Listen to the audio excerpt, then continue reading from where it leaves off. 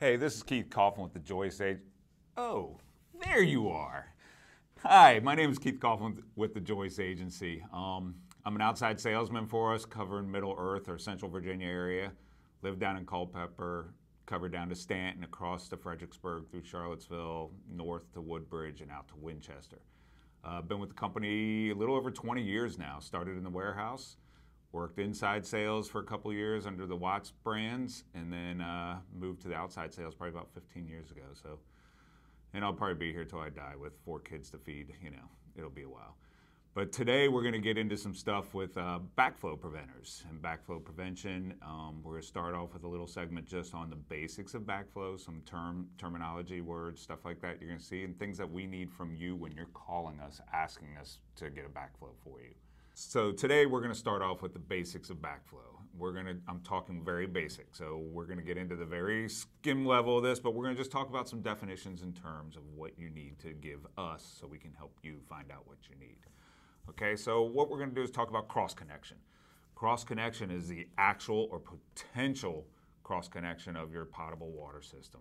So contaminants of gas or whatever could be mixing in. So that's your first thing is a cross connection. So first thing you're going to do is you want to do total backflow pre prevention. Okay, total backflow prevention or protection in a building is going to be your isolation and containment. Isolation would be in a multi-story building where you have apartments upstairs, residential, commercial on the downstairs, and maybe offices in between.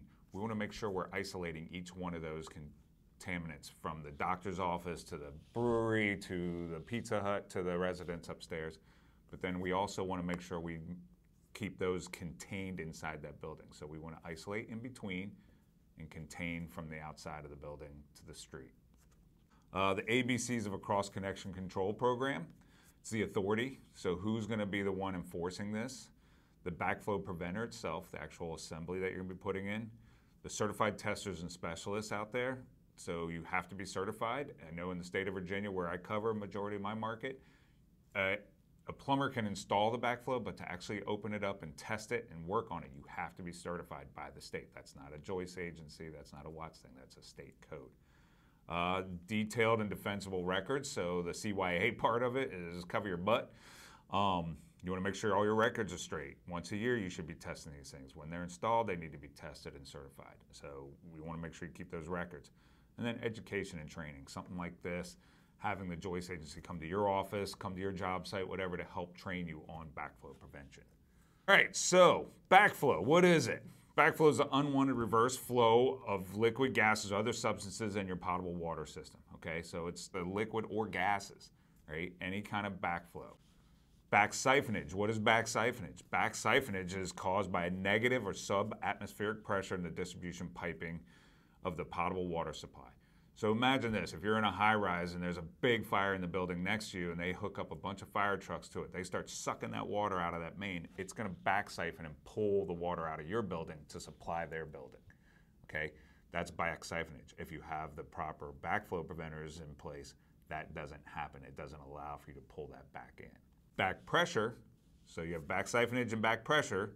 Back pressure is backflows caused by an increase in pressure on the downstream side of a piping system. Best thing to think of this is your water heater.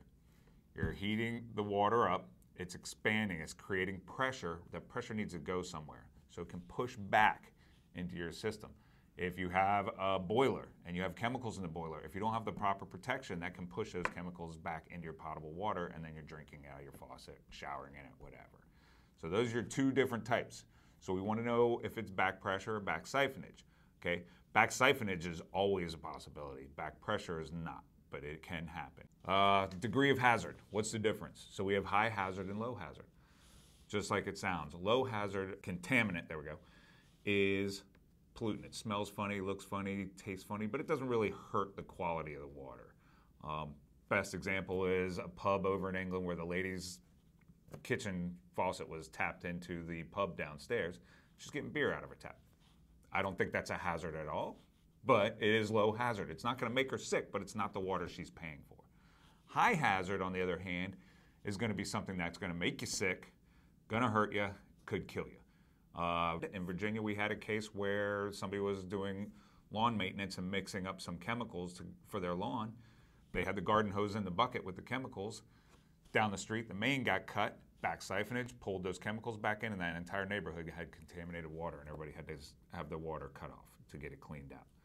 So those are your different things. High hazard, low hazard. So when you call, now I need to know back pressure, back siphonage. Is it high hazard or is it low hazard? Okay? So, four questions I need you to ask. Just like I said, back pressure or back siphonage, high hazard, low hazard. What's the application? Is it 24 7, 365 pressure? And then what's the orientation? Is it going to go inside? Is it going to go outside? If it's going outside, we're the safety cover rep. We got you covered there. We can put a safety cover on it.